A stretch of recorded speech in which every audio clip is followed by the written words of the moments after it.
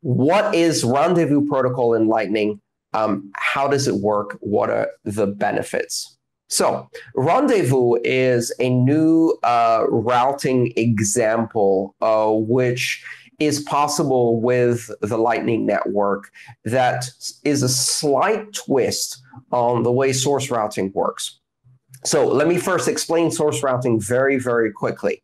You have a Lightning node. You want to pay another Lightning node somewhere else in the network. How do you get your payment there? One of the advantages for privacy and um, uh, and for the confidentiality of your payments in Lightning is that the origin or the originator of the payment gets to decide the route. And that's called source routing because the source of the payment makes the routing decisions. This is different from how, for example, the internet works now, although it did work like that in the beginning.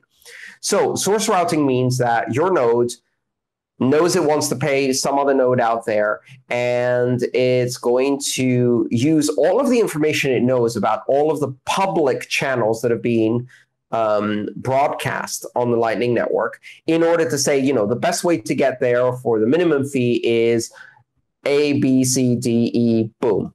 And that way it can get to, let's say, node F. So for A to F, it's going to construct this route, A, B, C, D, E, F. And in fact, it doesn't just construct one route, it will construct several routes and then try and see which one can get a payment through. If and when F receives uh, the, the paid uh, route, then F will close that loop and the payment will go through.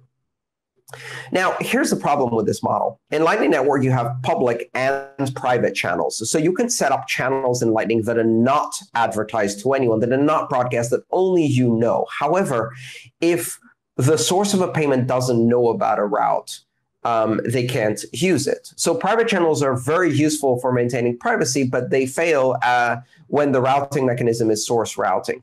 Um, it also makes it very difficult to maintain a level of privacy towards the payer or the payee, meaning that nobody else knows where payment is coming from or where payment is going.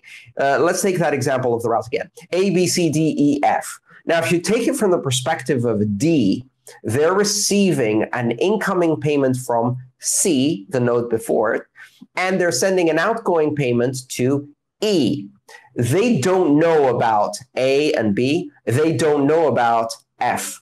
Uh, as far as they're concerned, they only know the immediately previous hop, so C, and the immediately afterwards hop, the next hop, or E. So D only sees where it's coming from, where it's going, and they're passing this encrypted blob of information that has more routing information for the next person in line. So D says, hey, no D, here's a payment and here's a, an encrypted blob that tells you where it goes next. And, and, in fact, E may actually be the recipient and they may open the encrypted blob and say, oh, actually, it's for me. It's not going anywhere next. Or they open the encrypted blob and there's another 10 um, nodes, but they only see one of them and more encrypted blobs that they have to keep routing. So that's how onion routing works. And it's, it's beautiful in that you if you're in the middle of that route, you have no idea where payment coming from, you have no idea where it's going. All you see is the two adjacent nodes. You don't know where you are in that route, which position you have in the route, and you don't know how long the route is. All routes look like they're the same length and it looks like you're always the second hop. So you can't really tell anything from um, from the routing. So what if we could do that with private channels? Now, if the if A is constructing this, then A obviously knows that they're paying F uh, because they have to construct a route to it. What if F wanted to get paid but anonymously? So this is how rendezvous routing works. A actually tells, uh, sorry, F actually tells A, the payer, that they're going to pay node E and they then provide an encrypted route to E on how to get that payment all the way to F. So when A pays, they construct a route to E, and then the encrypted part of that route gets the payment to F without A knowing where it's going. So E acts as a rendezvous node, a meeting place between two routes, one which is constructed by the originator A, and one which is constructed by the destination F, so that A doesn't know who F is or how to get to them. And most importantly, that means F can use private channels to get from E to F that A doesn't know about.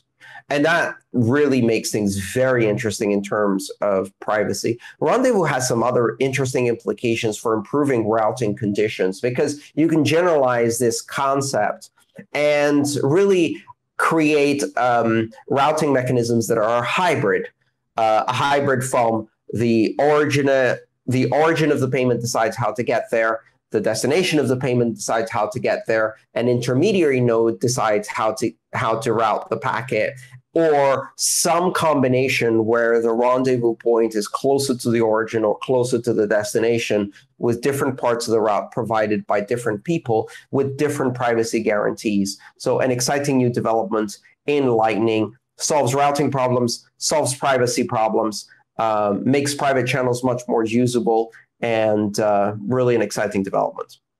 Quick uh, follow-up question, and this comes up a lot, especially because there's there's active propaganda on this topic by people who have primarily a political agenda uh, against Lightning Network rather than a technical argument against it. Which is, uh, Deepak asks, would you say that routing in, in Lightning Network has been figured out yet? And if not, what percentage of the way are we in terms of getting there? And well, will that happen in your opinion? And, and uh, there's a lot of discussion online about the fact that Lightning Network uh, routing doesn't work or can't work, even though, of course, it does work in practice. Um, or that it can never work because it's an NP hard problem, or it's a traveling salesman problem, or because there's no way to do optimization, or the routing algorithm that's been chosen is the wrong one. The truth is that on Lightning Network, you can have different routing algorithms, and these routing algorithms uh, both the ones that exist today as well as ones that are proposed, as well as future ones that may be developed, need to be appropriate for Lightning as it is now. You never optimize for something that's going to happen in the future. You optimize now.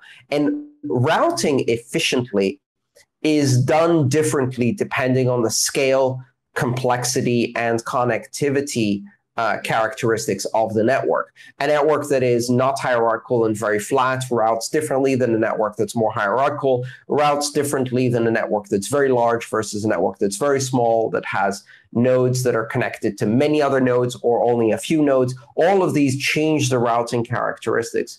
And so different routing algorithms will apply at different stages in the maturity of Lightning Network. Right now, source routing is effective it has strong privacy protections and it works. Uh, it doesn't work perfectly, but perfection is not the goal here. Um, the goal is to be able to route payments most of the time um, in a way that reduces fees or gives you a good enough route, not the perfect route uh, and not always successful, uh, but almost always successful and um, almost always an efficient route. That's what routing does. It's an optimization strategy. And the current uh, strategy works very well for the size and scale and connectivity characteristics of the Lightning Network today. We don't solve routing. Uh, just like we don't solve scaling, because as the network changes in size, the problem changes. So we solve routing today for today's Lightning Network, just like we can solve scaling today temporarily for Bitcoin. And then later, the problem is going to arise again as the problem changes, and then you solve it again and again and again, and there is no final solution. So, what percentage are we? We're 100% for the current uh, scale of the network in terms of solving routing, and we're 0% for the future because the future is infinite and the routing problem will constantly change.